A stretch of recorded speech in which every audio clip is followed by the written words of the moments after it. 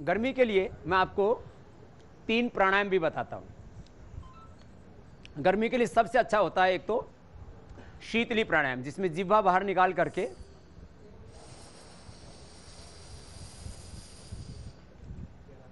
और, फिर नाक से छोड़ देते हैं। इससे ठंडक मिलती फिर शीतकारी प्राणायाम। दांत बंद और ओष्ठ ओष्ठ खुले हुए।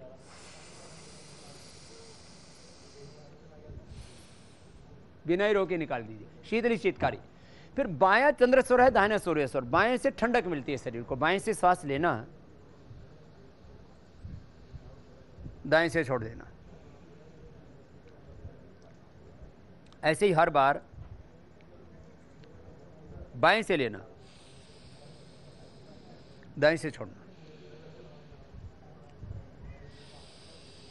बाएँ से लेकर के दाएँ से छोड़ना। इन तीन प्राणायामों से गर्मी दूर भागती है।